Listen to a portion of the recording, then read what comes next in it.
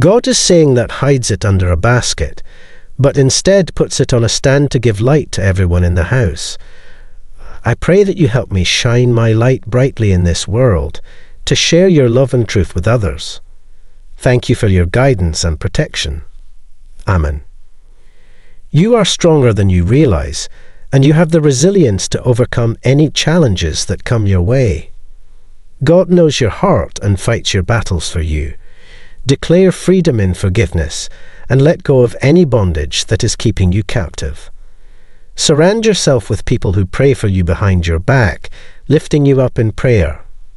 God wants you to know that you will be filled with joy and happiness, and there will be calls for celebration soon. Be ready for the blessings that are coming your way. In your prayers of thanksgiving, acknowledge that God is not a magician who takes away our problems, but a loving Father who helps us face them. Find peace in knowing that even in times of depression and struggle, God whispers words of love to you and assures you that you are not alone. If God is making you wait, trust that He is showing you something and that your life is getting better. It's natural to outgrow certain relationships and interests as you grow spiritually. Believe in the abundance that God has for you and declare that your bank account will be loaded with cash.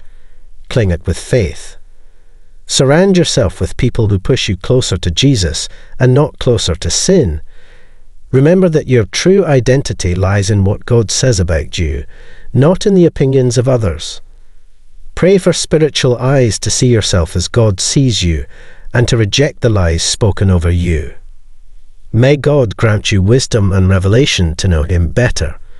Give thanks for the blessings you receive each day and pray that you live according to God's will not the pleasures of the world. Trust that everything will work out for your good as you place your faith in God. Pray with others, believing in the power of collective prayer. Sometimes God may ask you to release the things you want the most, trusting His greater plan for your life. Pray to discern God's will and to surrender your desires to Him. Trust that God's timing is perfect, and any delays may be for your protection. Comment Amen if you believe. Dear God, thank you for your presence with me.